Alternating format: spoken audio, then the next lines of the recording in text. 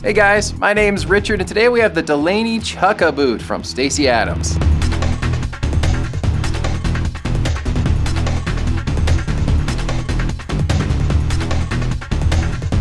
Now these guys have that really nice looking smooth leather upper with some suede overlays around the front of those laces, up around the collar and back near the heel. Give you that really nice contrasting look.